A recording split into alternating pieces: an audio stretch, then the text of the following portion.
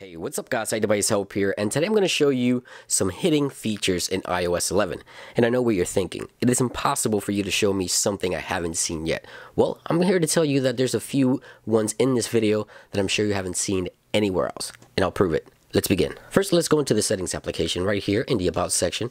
If you tap on the model number, it actually shows you your model number. It didn't do that in iOS 10, but it does do it for iOS 11. Inside of the Photos application, by the way, if you want this image here as your wallpaper, I'll link it in the description, you can tap the share option, and now you can create a watch face with any image that you have in your camera roll. Not only a stock or standard Apple Watch face, but the brand new option for the Kaleidoscope options is also available with the new Apple Watch face creations inside of Photos. Check this really cool one out right here in the widgets panel. If you find any URL throughout iOS, right here is a weather URL right below the widgets. I can tap and hold it just like that. It starts floating around.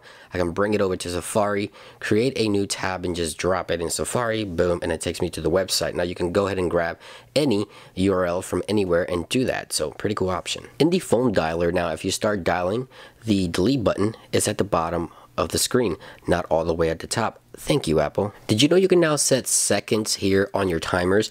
Not only that, but when you set a timer, you get a new option to click repeat from right there and you can continue repeating. Now if you want it to stop, of course, all you have to do is click the stop button at the bottom. But you do get a repeat option and now you can go ahead and also set seconds in your timers. Did you know that you can swipe right on a note to create a folder and lock it or delete it individually? But did you also know that you can swipe to the left to pin that note? Yes, you can do that. Did you know you can take more than one screenshot and edit all of those screenshots together and they start piling up here on the bottom left. Once you tap in there, you can edit all the screenshots or get rid of all the screenshots at one take. In Safari, you now have a multiple tab search right here. Pretty cool. The new control center in iOS 11 can now be used in landscape and you can swipe side to side to use it. Did you know that iOS 11 allows you to zoom in a video while it's playing just like this? So let me go ahead and share with you guys two more. Inside of the Safari tab in settings, if you scroll all the way down, you have an automatically save offline mode. Now this is anything you add to your reader list, it will save it for you to read it offline later without a network connection.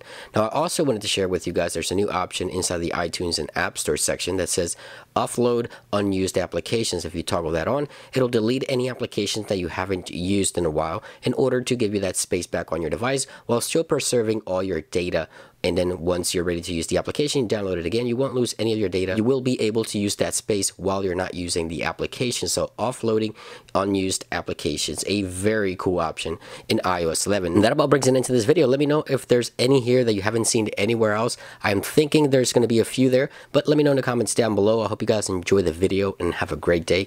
I'll see you guys real soon. Peace.